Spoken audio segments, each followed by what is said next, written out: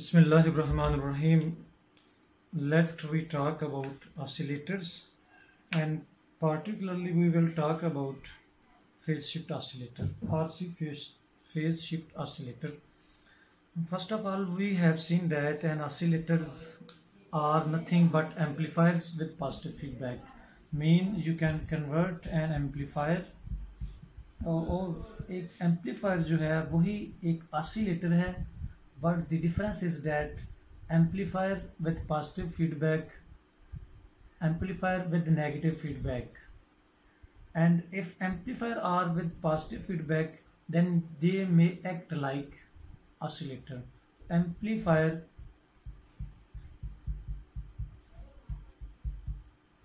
plus positive feedback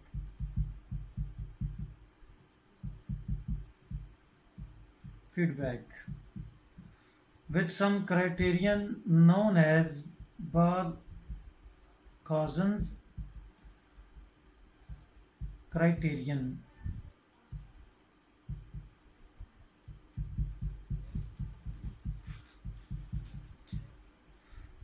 We say that amplifier with positive feedback with will act like an oscillator if it obeys the Barkhauson's criterion. According to this criterion, first of all, let we consider that we have an oscillator with gain A and this oscillator is attenuated by some let we have an amplifier with gain A and input V I output V out so that the feedback is from output to input through a feedback network B such that we can write A is equal to V out over VI and we can write B as VF over V naught. But as feedback and in, uh, input signal are same so A will be equal to V naught over Vf for this particular case. And according to Barkhauson's criterion amplifier with uh, will work like an oscillator if the loop gain mean gain from one point along the loop and back at that point which will be equal to product of A and product of B According to Barkhauson's criterion, product of A, B must be equal to 1. As we know that, as we know that A and B may be a complex value function, may be a function with some phase difference so that we can convert this condition into two parts. One is that product of AB must be equal to 1 so magnitude of product of AB must be equal to 1 it means that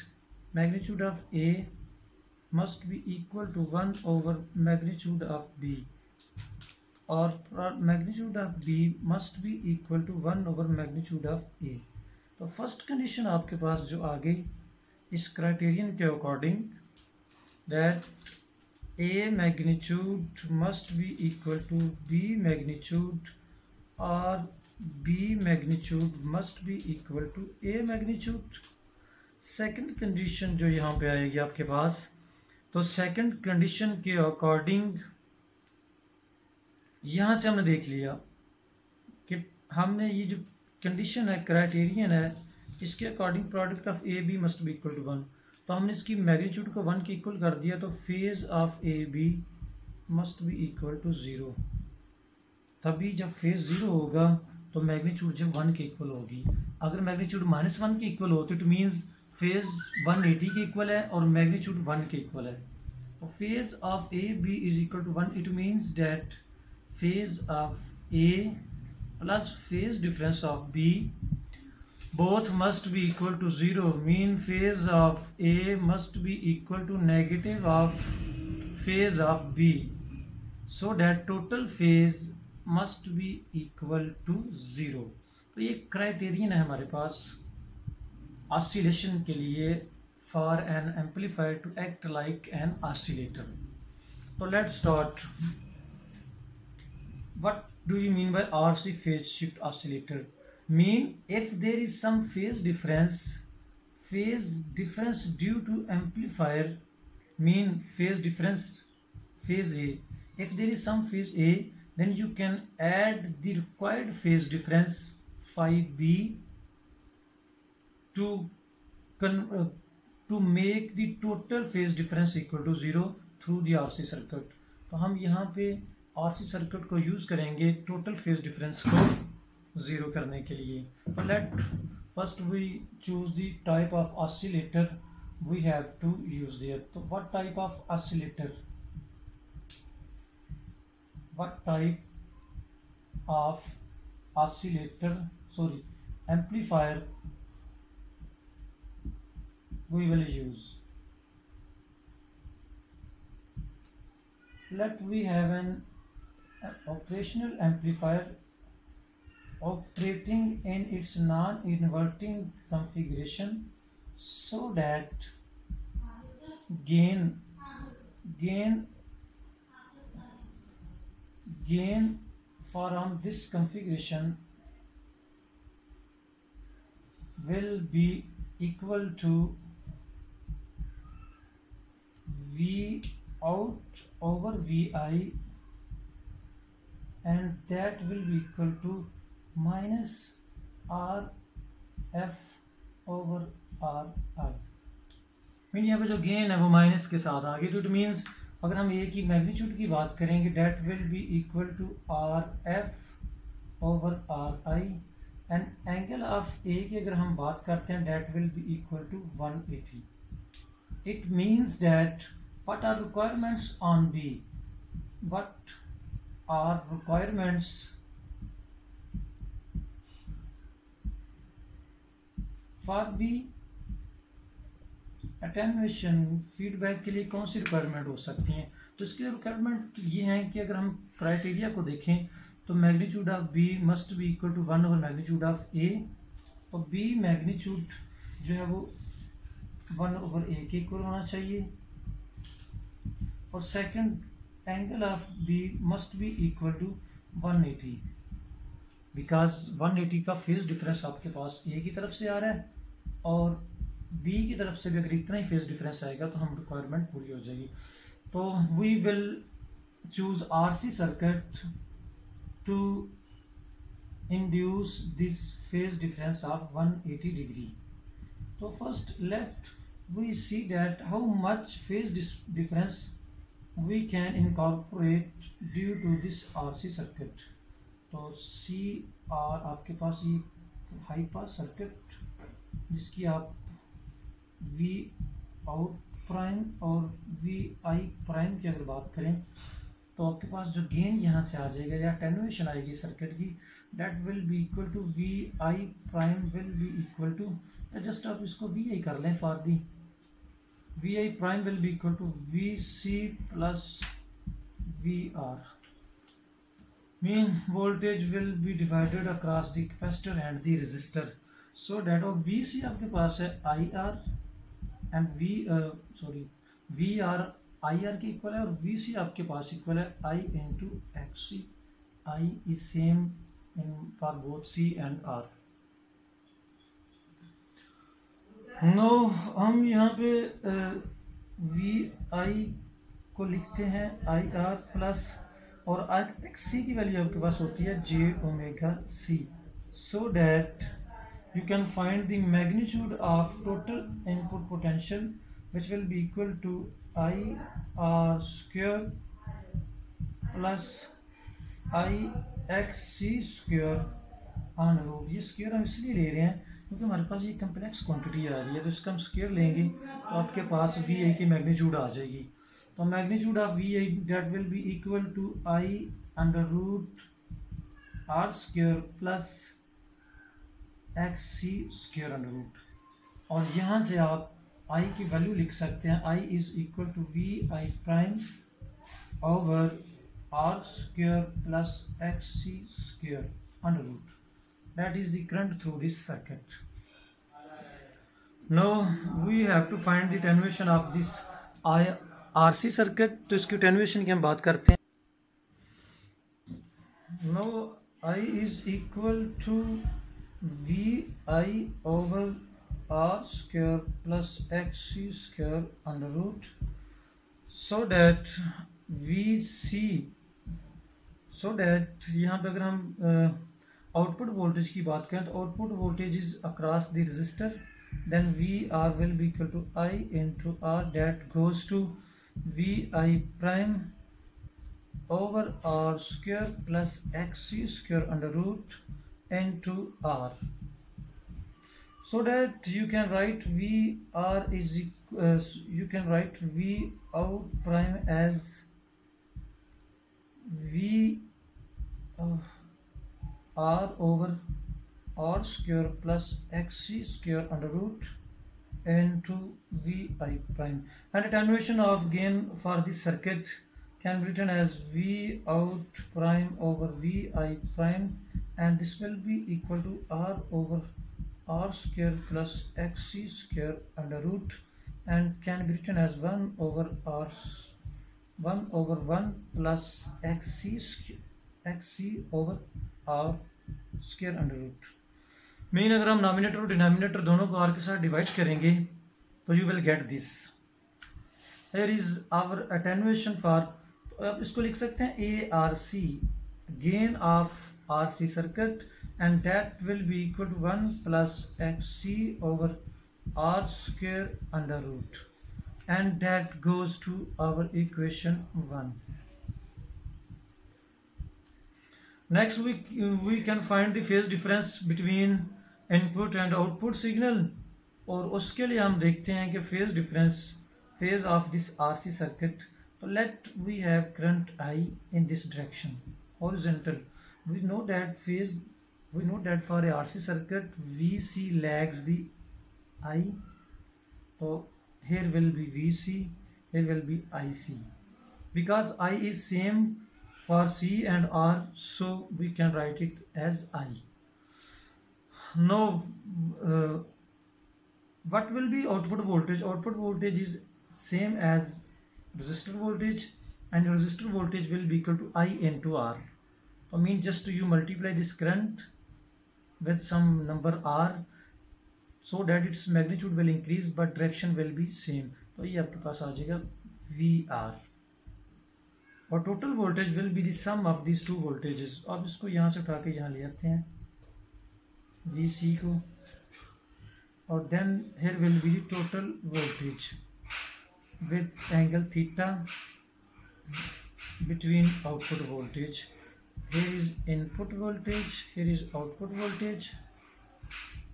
So that angle theta between these two vector output and input can be written as VC over VR और ये आपके पास आ जाएगा face को हमने शुरू में इंक्लूड कर लिया। और वी सी आपके पास आ जाएगा I into X C magnitude no over I R और tan theta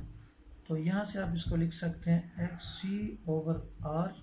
and that will be equal to tan theta will be equal to X C over R किसके इक्वल होगा आपके पास? One over two pi F R into C आपके पास आ जाएगा। And that will be our second equation और second equation के according आपके पास is the first equation that will give the gain of the RC circuit and is the angle theta you can incorporate this second equation to find the total amount of theta that can be included that can be inserted or that can be added by this RC circuit. If frequency is zero, the frequency is zero, then tan theta will be equal to infinity and it means theta is equal to 90 degree. F is equal to 0 and when f is as uh, is at very large value so that this term approaches to 0 then tan theta will be equal to 0 and theta will be equal to 0 so that total amount of theta so that total amount of theta that can be added by this RC circuit varies from 0 to 90 0 to 90 and our requirement is that we have to add an angle which is equal to 180 और 180 angle के लिए आपको दो RC circuit चाहिए होंगे या आप इस तरह कर सकते हैं कि you can add three RC circuit to obtain 60 degree angle from each circuit तो अगर हम 90 एंगल चाहते हैं तो इसके लिए हमारे पास सिर्फ़ और सिर्फ़ जो फ्रिक्वेंसी है, वो ज़ीरो पे ही होगा। लेकिन हम तो एक हाई फ्रिक्वेंसी चाहते हैं तो इसके लिए हम फिर 60 plus 60 plus 60 for a medium frequency you can add three R C circuit to obtain this frequency और sorry this phase difference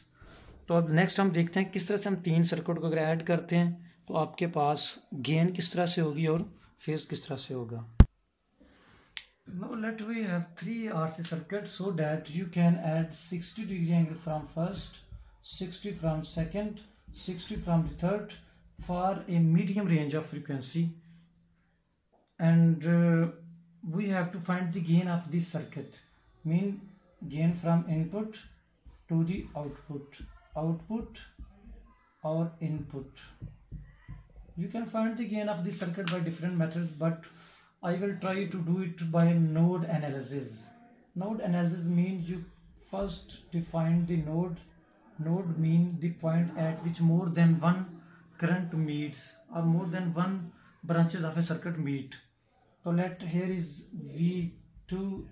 here is v3 and here is v4 आपके पास चार node one two three four और इनमें आप assume करते हैं node analysis mean application of K C L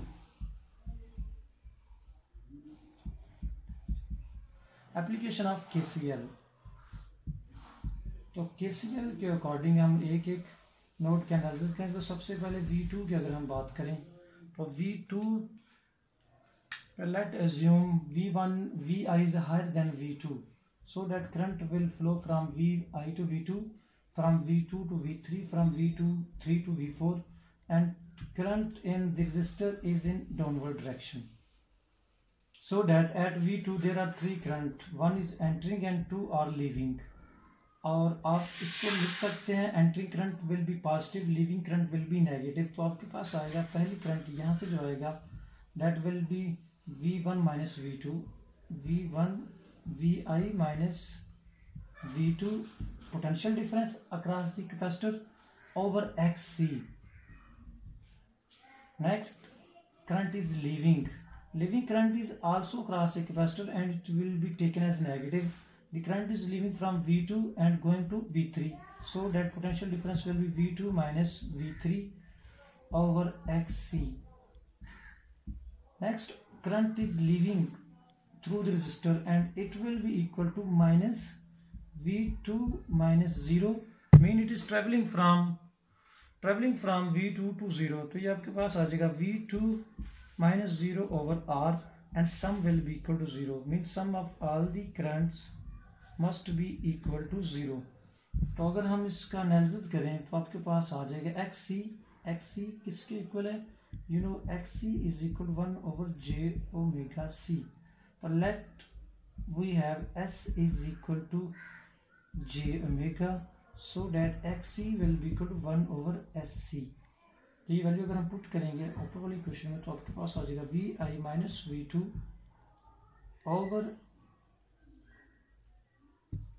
over X C तो यहाँ से आपके पास वन ओवर एक्स सी आ जाएगा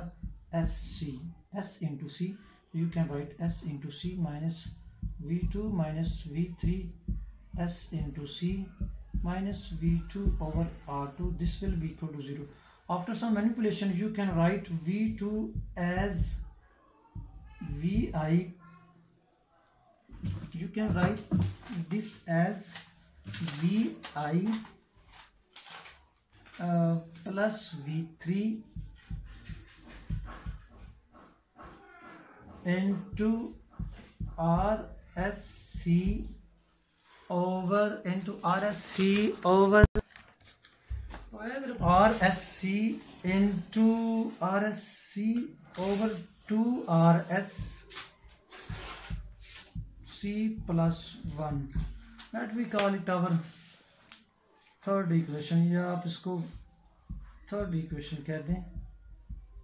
सिमिलरली आप V3 के लिए एनालिसिस करेंगे V4 के लिए एनालिसिस करेंगे तो V3 के लिए आप जो एनालिसिस करेंगे वो आपके पास आएगा V3 will be equal to V3 will be equal to V3 will be equal to V2 plus V4 V2 plus V4 into RSC V2 plus V4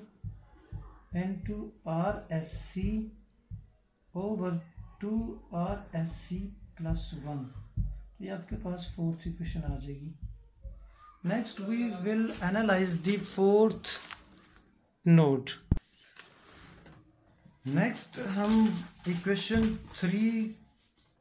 को पुट करते हैं क्वेश्चन फोर में और मीन वी टू की value यहाँ पे हम put करेंगे तो सम एनालिसिस मैनिपुलेशन के बाद आपके पास वी थ्री की ये मॉडिफाइड वैल्यू आ जाएगी। और हम नेक्स्ट मूव करते हैं for node four four node पे आप देखते हैं current is entering from C and leaving through R so that according to K C L at V four we will have entering current will be taken as positive. Current is entering from 3 to 2 4 so v3 minus v4 into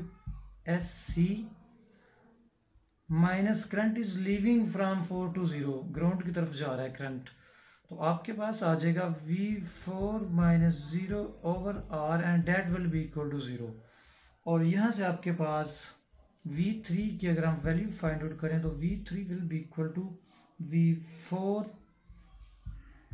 into one plus R S C sc R S C let we call it equation six no equation six और equation five का अगर हम comparison करें both R for V three then we will get our final answer in term of V naught as v4 is equal to v0 v4 is equal to v0 तो हमारा जो final answer आएगा वो v4 और v1 की form में आएगा। आपके पास मीन आप कंपेयर करते हैं comparing equation five and six equation five comparison with equation six then we will get we will get v4 is over vi will be equal to rsc cube over rsc cube plus 6 rsc square plus 5 rs RSC plus 1 as V4 is equal to V naught so V naught over Vi that is gain gain of this feedback network and gain of this feedback network will be equal to RSC cube mean this आपके पास जो expression ये वाला expression आ गया जी इस expression की equal होगी और हम इस एक्सप्रेशन में दोबारा से अगर जे ओमेगा पुट करें एस की जगह तो आपके पास दोबारा से ये जो फाइनल आंसर आ जाएगा it will be equal to minus minus J R omega C cube over R omega C cube into माइनस j minus 6 r omega c square plus 5 j r omega c plus 1 no here is the value expression for B final expression for B हम इस expression में अपनी will के साथ किसी भी term को अगर हम ज़ीरो करना चाहें तो कर सकते हैं। डेट इज़ बिकॉज़ ये फ्रीक्वेंसी डिपेंडेंट है तो हम जब उस टर्म को ज़ीरो करेंगे तो आपके पास वो फ्रीक्वेंसी आ जाएगी। Let we put its real part from the nominator में बात करें तो these two terms constitute the imaginary part and these two term constitute the imaginary part तो हम इस इमेजनरी पार्ट को ज़ीरो के इक्वल पुट करते हैं। अगर हम इस इमेजनरी पार्ट को ज़ीरो के इक्वल पुट करेंगे, हम इस टर्म को अगर ज़ीरो के इक्वल पुट करें, ये वाली टर्म जो हम जिसकी बात पहले कर चुके हैं दिस प्लस दिस आपके पास आएगा 1 minus 1 minus 6 r omega c square equal to 0 it implies that r omega c square must be equal to 1 over 6 that means omega is equal to 1 over 6 under root into rc or f is equal to 1 over 2 pi 6 under root into RC. Now, this will be the frequency at which this phase difference is equal to 0. अगर हम इस phase difference को sorry mean इस frequency पे ये term zero हो जाएगी तो यहाँ से हम ओमेगा की वैल्यू या R omega square R omega C whole square को वन ओवर सिक्स के इक्वल पुट कर दें यहाँ पे मीन जहाँ पे R omega C R omega C की वैल्यू आपके पास आ रही है वन ओवर सिक्स हंड्रेड अगर ये वाली वैल्यू आप इस एक्सप्रेशन में पुट करें तो यहाँ से बी की जो वैल्यू आएगी B will be equal to minus one over twenty nine minus one over twenty nine mean it means that magnitude of B is equal to 1 over 29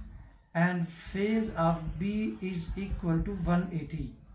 So we have achieved two things. First is that phase of B is 180 and gain of B is 1 over 29. अब हमारे पास जो requirement है वो ये है कि we have to put the Barkhausen criterion into account कि अगर हम बारकाजन क्राइटेरियन की बात करें तो उसके अकॉर्डिंग हमने जो अचीव कर लिया है अचीव्ड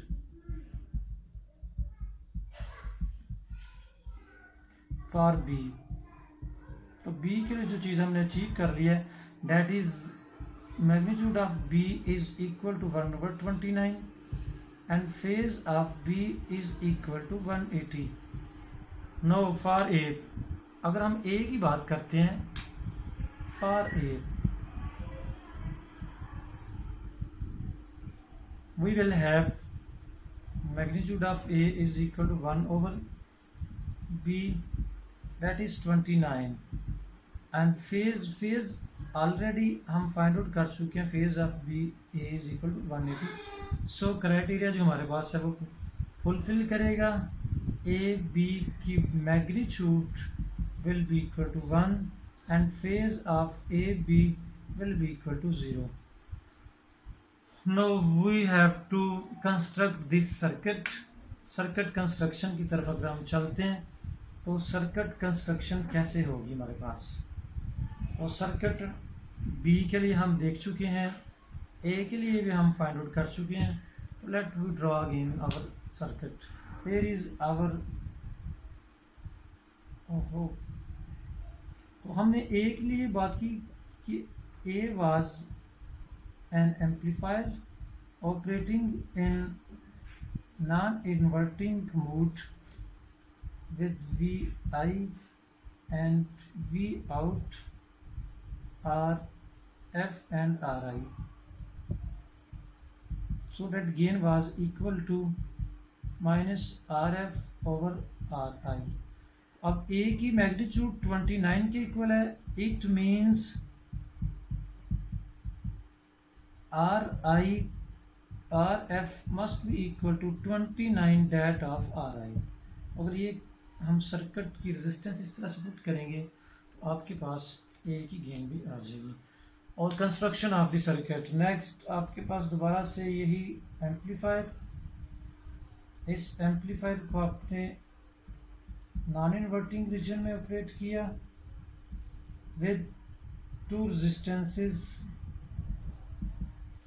R F और आर आई और यहाँ से आपने क्या करना है कि आप इसी सर्किट को ज्वाइन करेंगे थ्री आर सी सर्किट के साथ। आर सी फिर आपके पास R C and again here is R C आप उसको यहाँ ज्वाइन कर देंगे। और आउटपुट से आप एक कनेक्शन लेंगे और यहाँ पे आप उसको फीडबैक में ले आएँगे। और यूँ आपके पास C R C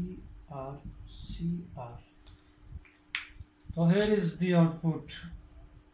V naught here is the V naught and here will be V F feedback at that point so sixty total phase difference will be equal to 180 at that point signal start. And after some amplification it reaches at V0 and at V0 it has some magnitude which is equal to A and phase which is equal to 180 so signal is moving from V0 to at this point and reaching at this point it has 180 phase shift with some magnitude of gain and after passing through this RC circuit cascaded system it will gain an additional phase of 180 so that at that point total phase will be 360 degree और zero degree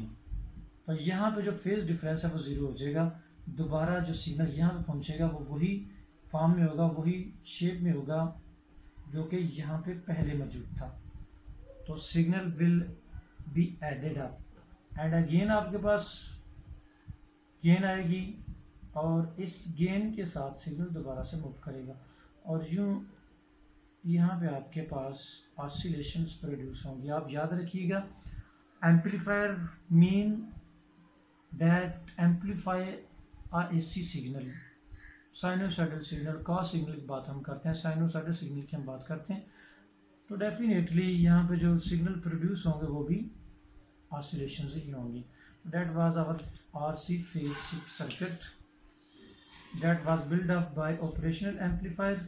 and R C circuit I hope you will gain some understanding from this lecture. And if you feel some any uh, problem regarding understanding any question then kindly feel free to ask me through whatsapp or through youtube. Thank you. Assalamu alaikum